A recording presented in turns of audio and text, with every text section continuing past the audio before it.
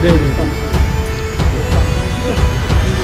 도치가 많이 생기다 보니 사비가 정액됐습니다. 1억 2,980억 원으로 지금 후보에 사업비 2,980억으로 후보에 지금 사업이 예, 접수되어 있습니다.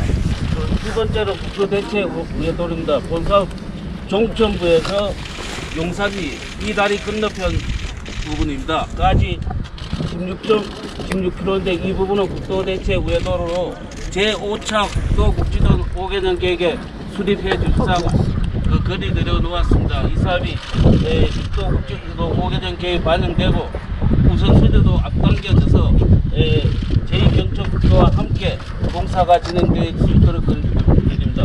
사업 구간이 32.9km고 16km임에도 불구하고 사업비는 한 6배 이상 차이 부분은 경기도 쪽이 땅값이 비싸 그렇습니다.